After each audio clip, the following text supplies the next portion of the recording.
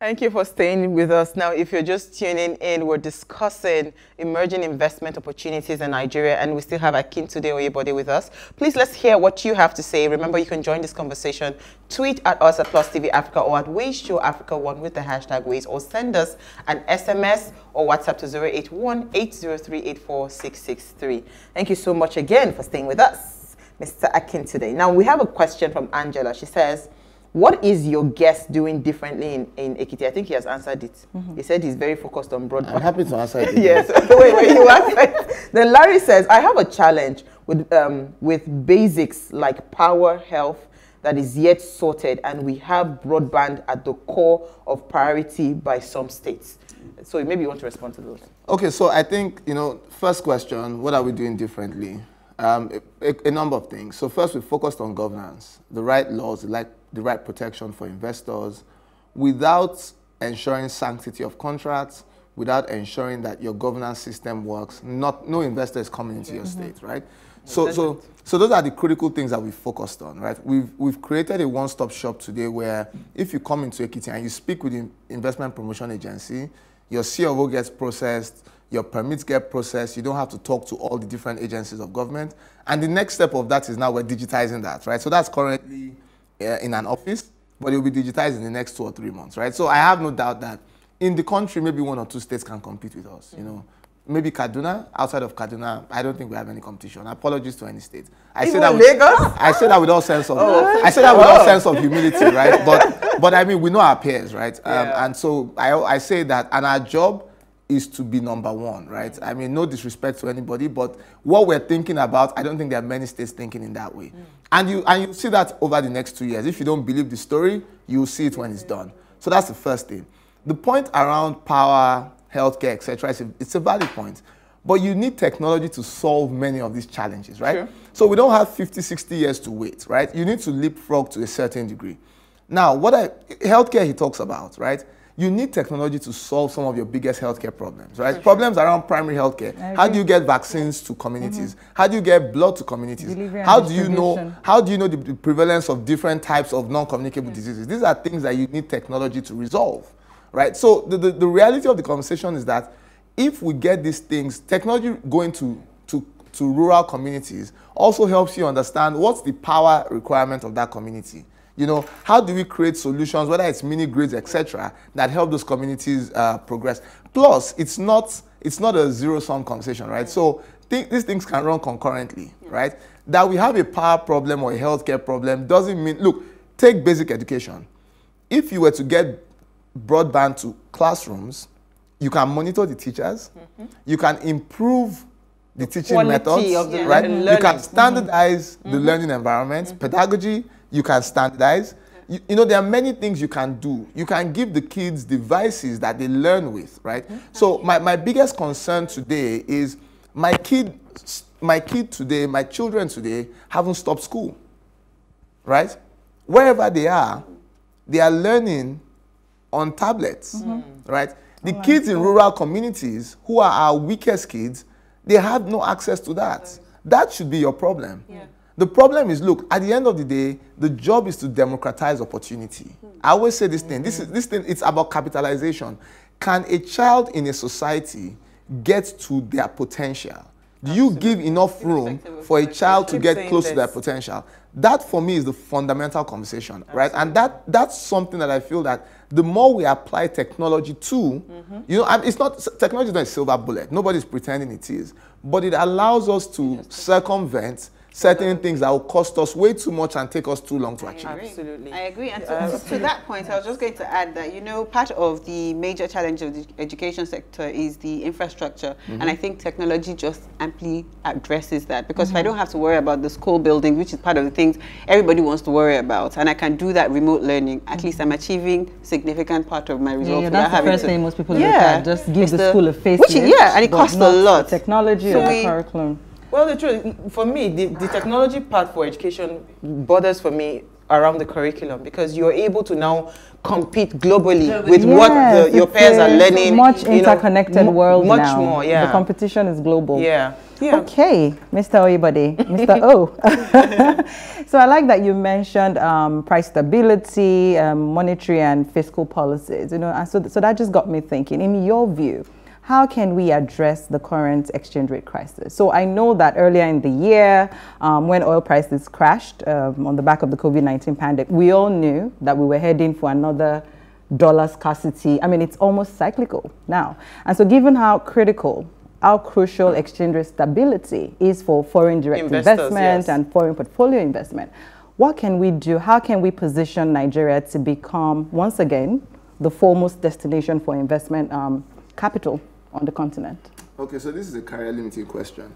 Um, so I think first, uh, so I think first the the challenge is so Nigeria is a very interesting place. It's the one place where everybody has a view on the exchange rates, mm -hmm. right?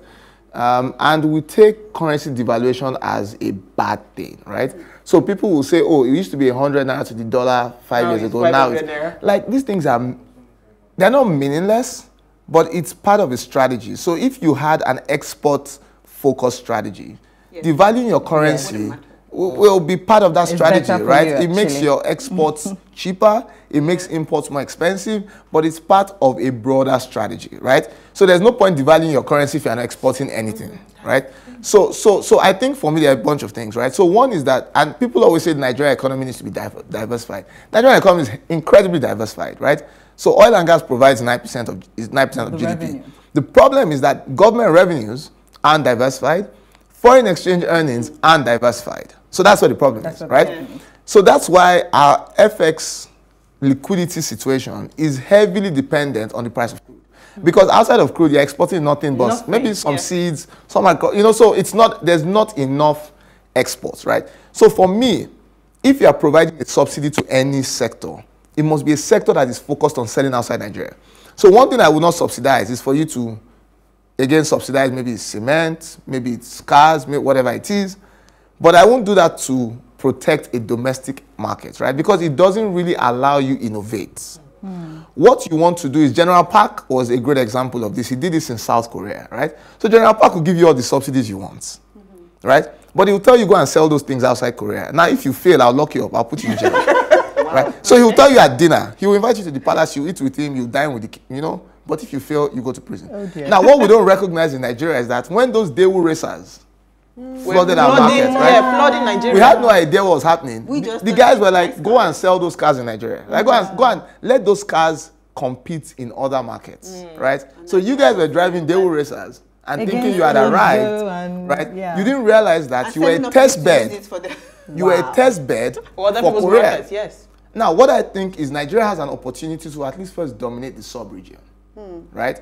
Then the continent, right? So, I mean, South African businesses, you can argue about how well they travel, but within the Southern African space, mm -hmm. those businesses dominate Southern Africa, right? Absolutely. So, so that's where we have to start this conversation from. And I think for me, this is an intentional foreign policy, right? But it's also an intentional export focused strategy. So your point is, we're go always going to come back here, right? So what we're dealing with now are, are symptoms, right? So yeah we'll come back here in three years. You know, if there's another run, same thing is going to happen. Absolutely. You know, your your you can't use more, more than three hundred dollars on your card. Hmm. You know, all these things. And it's bothersome. No, these things are so they, they, foc they, they focus on the symptoms. But the point is, if you are look, a devaluation is not necessarily like a silver bullet answer, right? Mm. So the point is, what else are you doing outside of that?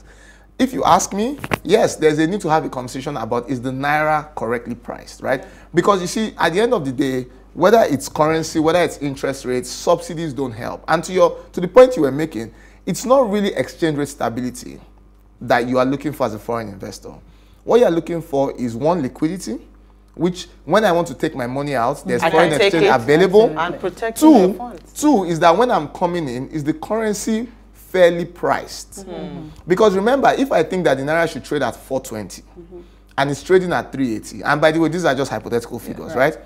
If I bring in foreign currency at 380, I feel like I'm losing 40 naira on every dollar every I bring dollar. in, right? Mm -hmm. And if I don't, if I want to go out and the dollar then moves to, the naira moves to 420 where to a dollar, where I think it should be, mm -hmm. then I've lost money.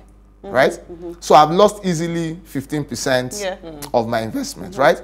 Now that is the problem. So you've got to be clear that look, the exchange rate is what I consider fair value. Now, fair value to you might not be Is- fair value yeah. to me, To but but but if and we don't want this is a TV program, so we don't want to get into like technical Technicalities, uh, yeah. economics, right? But you know, the truth is that there are models and processes where you can say, look, this is how I think this is the fair value of the currency, right? Where you start to equalize these things and you say, look, naira should trade at this price. The truth is, again, I mean, the, the, the central bank, to be honest, don't have like easy.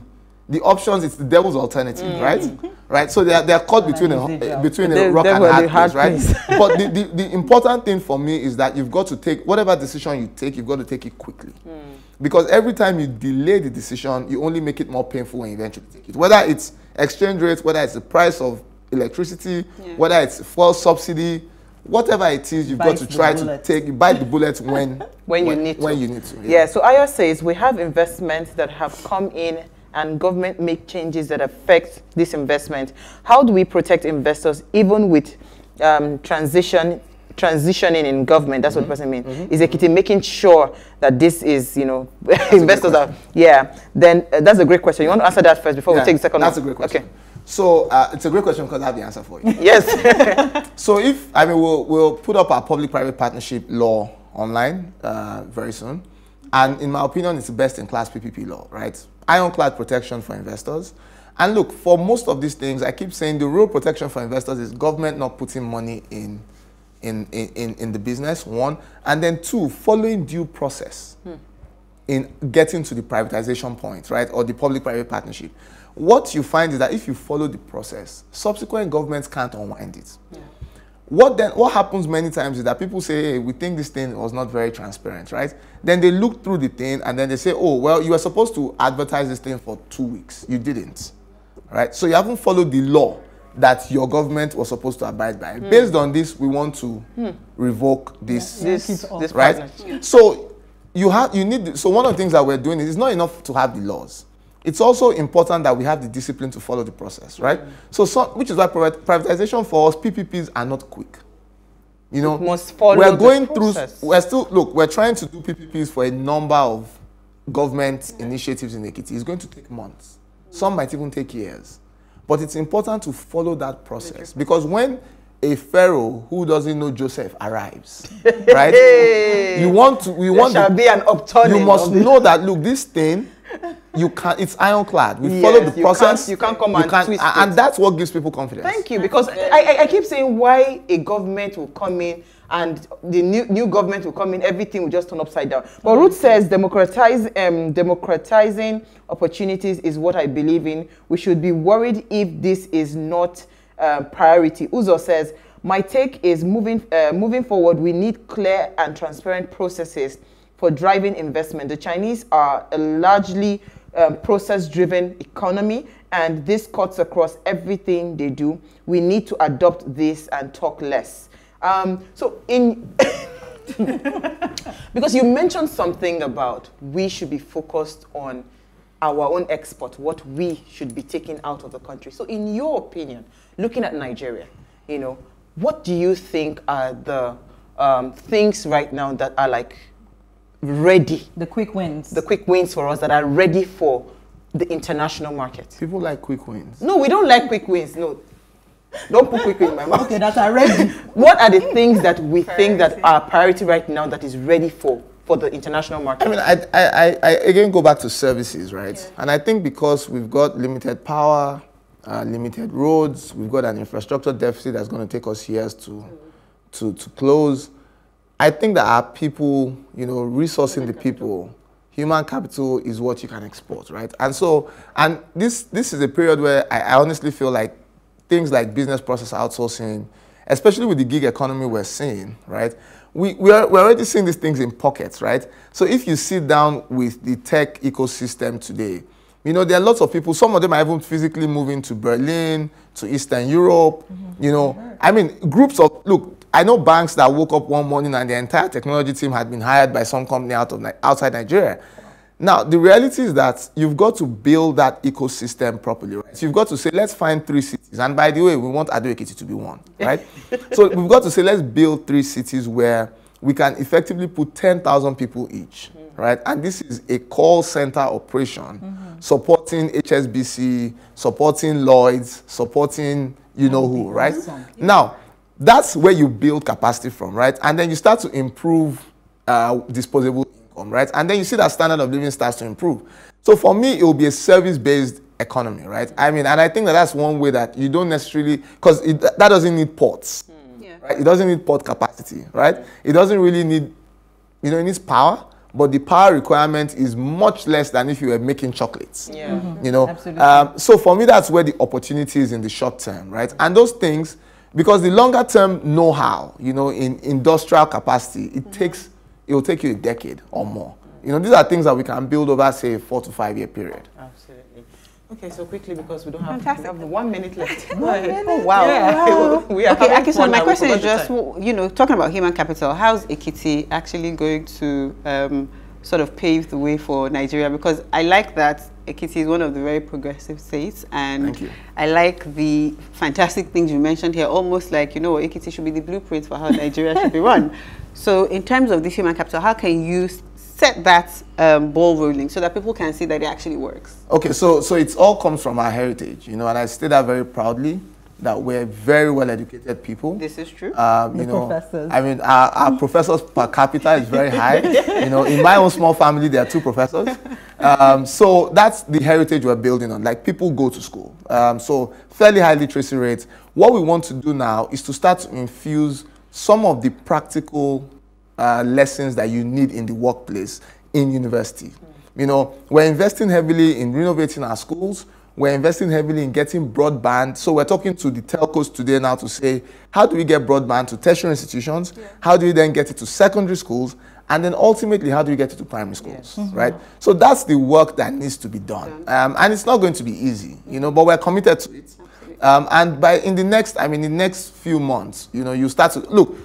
Quick note to close we got max.ng to support the uh, formalization of our transport industry, right? Our motorbike industry, right? It's not because we, we, we understand that we need technology to support government. And the way to bring these technology companies first is by government consuming the technology, being yeah. the first mover, right? Yeah. So it's part of its strategy. You know, we have a strategy that over the next two years, you know, we hope will lead us to be to lead the country. If in Nigeria. I know. Very quickly, very quickly. Um, just wanted to ask. Um, I can't talk about investment without tourism. Mm -hmm. So mm-hmm. Nigeria today, we're on the same strip of the Atlantic mm -hmm. as Sao Tome, Cape Verde, mm -hmm. and the Gambia. What can we do? How can we look inwards and partner PPP, whatever? Just start to you know the resorts, the scenery. What can we do to bank tourism dollars? Um, I mean, I think the first thing is just giving so, of course, there's some waivers now to hotels. So this pioneer status covers a part of the tourism. Yeah, part of the tourism industry. Yeah, yeah, it does. But the reality is that we also have to democratize this opportunity, right? Mm -hmm. So we must say that, look, our shore, right? We must say this strip of our shore is open to anyone who can prove that they can do one, two, three, four things. So in our state, for example, we are currently going through a public-private partnership process on our Ikogosi Warm Spring um, and, and, and Arinta waterfalls, right? Yes. And we are even building a tourism master plan. So those are isolated uh, situations. Okay. But there's also a proper master plan that says what's the cultural heritage? What else can people see in neighboring states when they come? Wow. Where do they stay? how do we start to rate our hotels and grade the hotels, etc. You know, so so it's a long play. It's a look, we should film an episode of We have to come to it. Yeah, we actually we have to that. visit. By the way, you know your your program title is very interesting. You should, if you need a if you need an opening song, I can send you Yahaya Bello, Governor Yahaya Bello's campaign song. Okay. okay. Have you guys heard it? We will. What are you saying? Really?